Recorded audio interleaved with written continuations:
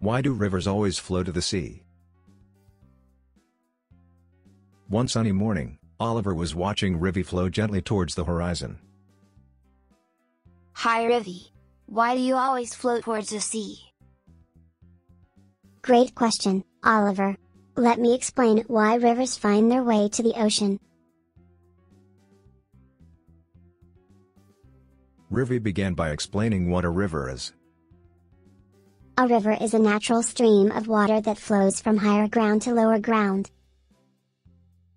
So, rivers always go downhill. Rivi explained the force that makes rivers flow. Gravity is the force that pulls everything down. It helps me flow downhill towards the sea. Gravity is like an invisible hand guiding you. Rivi shared how rivers find their path. I follow the easiest path to reach the sea, meandering through valleys and plains. That's why rivers twist and turn. Rivi talked about smaller streams joining him.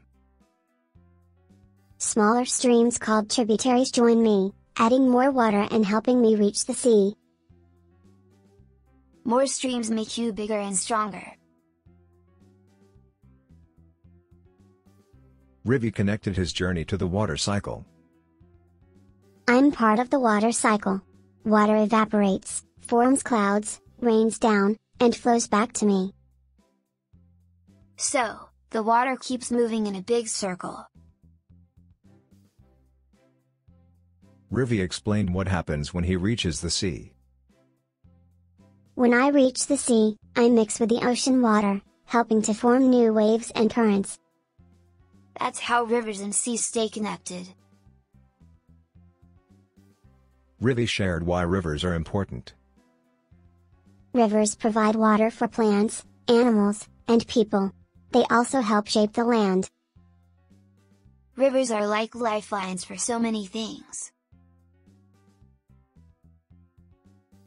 Rivi shared an interesting fun fact.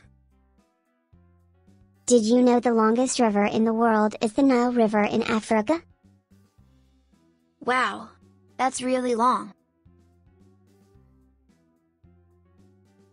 Rivi explained how people can take care of rivers. We can help rivers by keeping them clean and protecting their surroundings. I'll make sure to keep our river clean and beautiful. Rivers can change their paths over time, creating new landscapes, ocean wave, sparkles. Like, share and subscribe for more amazing facts.